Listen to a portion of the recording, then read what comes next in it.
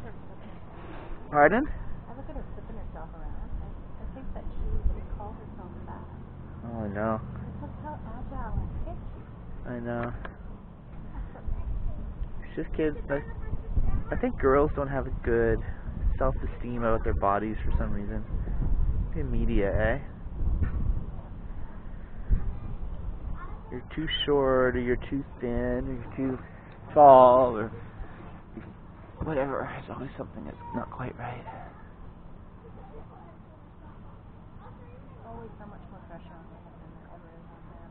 Yeah, To look gorgeous, to look young. yeah.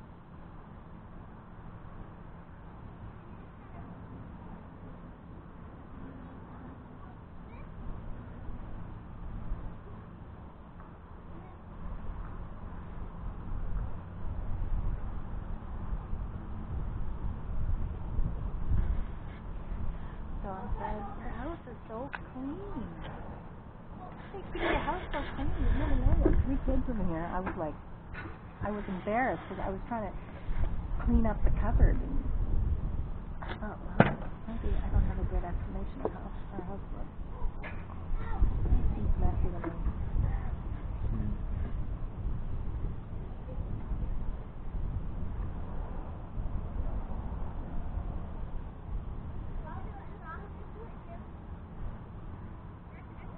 I think the key to that for me is keeping it simple in the house, not having too much stuff. hmm That's what makes it look clean to people. you know? When you have a lot of stuff and you're crammed in every room, everything always looks messy and dirty. I don't know. Maybe. Unless you're really good at doing it.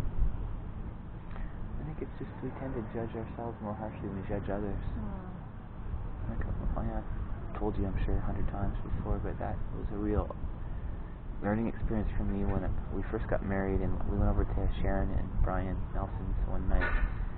And I was just thinking about how they have more clutter in their bathroom and around their fireplace and all stuff than we had, and yet somehow it didn't bother me at their house at all. Mm-hmm. I realized, and it wasn't that it was dirty. It was just they had shampoo bottles on the on the sink and you know stuff, stuff everywhere. I thought, well, this is all where it belongs, and it, it doesn't look out of place. And somehow my expectation was that in my house there was none of that. Well, that's unreasonable and really it's sort of ridiculous, right? So I just started looking at my own clutter and my own sort of living context living. differently. Yeah. Yeah.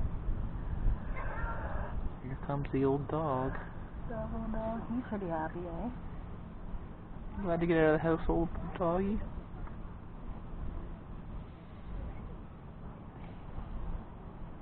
I'm just holding your thumb so you don't knock my camera off. I'm recording the girls.